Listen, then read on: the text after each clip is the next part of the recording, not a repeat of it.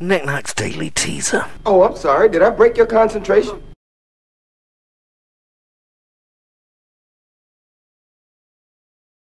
The 8th of April saw a team led in part by Grace Hopper start developing the computer language called COBOL. COBOL is short for Common Business Oriented. What?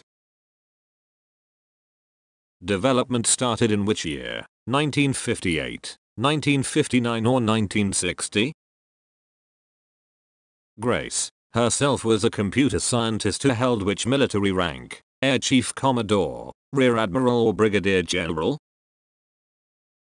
Grace earned a nickname based on the title of a well-known hymn. What was her nickname? Like other computer languages, COBOL was supposed to be used on many different computers. In other words, it's supposed to be what? Portable, fixed or editable? Like other such computer languages, COBOL is high level and needs to be translated for the computer to use. This is called what? Assembling compiling or collating?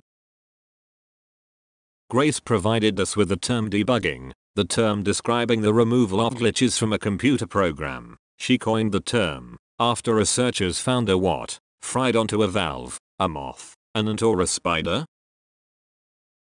Languages like COBOL can be used to write computer programs. Such programs are also called what? Software, hardware or firmware?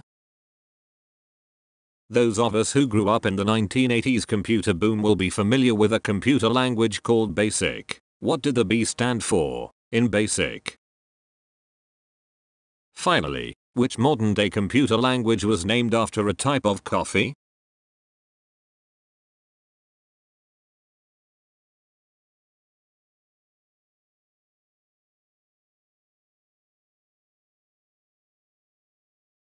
Questions set by Paul Knick-Knack Downie and released under the Creative Commons Attribution Share Alike 3.0 imported license. Audio material and images are copyright of the respective owners. The presentation was written on a Mac Pro with OS 10.7.5 using iWorks 09 and iMovie 11.